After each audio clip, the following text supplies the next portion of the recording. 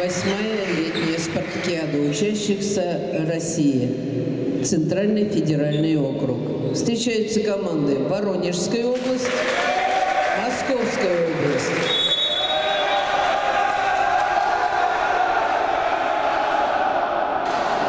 Встречу судят первый судья Андрей Беркетов, Рязань. Второй судья Алексей Сколобанов, Иванова. Судья-секретарь Ольга Медведева, Иванова. Я, я знаю, знаю.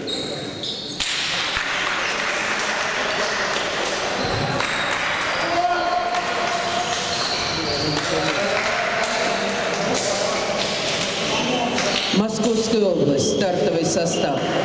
Второй номер Андрей Рябцев. Третий Илья Шуляк. Четвертый капитан команды Юрий Котелкин. Восьмой Никита Данилкин. Десятый Михаил Данилов. Одиннадцатый Дмитрий Железняков. Либера номер 7 Никита Швецов. Главный тренер команды Михаил Неботов. Старший тренер Евгений Трушников. Воронежская область. Первый номер Александр Репчунов. Третий Владислав Васильев. Четвертый Даниил Бокарев. Седьмой капитан команды Кирилл Моторыгин. Девятый Никита Вязьмин. Двенадцатый Данила Белоглазов. Игрок Либера номер 10 Егор Иванов. Главный тренер команды Ольга Турищева.